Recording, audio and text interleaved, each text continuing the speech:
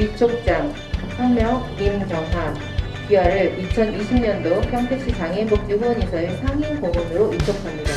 2020년 7월 27일 평택시 장애인 복지 후원이사회 이사장 박종근 큰 박수 부탁드립니다.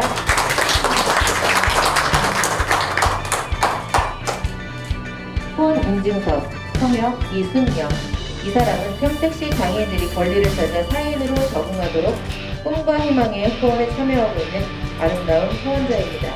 2020년 7월 27일 평택시 기시장애인협회 지회장 남승호 큰 박수 부탁드립니다. 성판 전달 지금 사진 찍고 전지금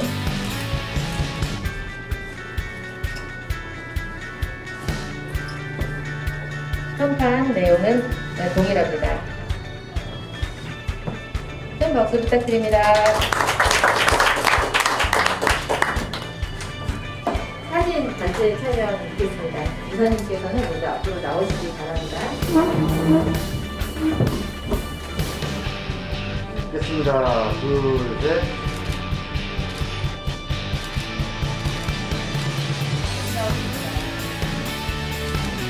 혹시 다른 거 보여주세요. 멘트가 많이 많이 되는데.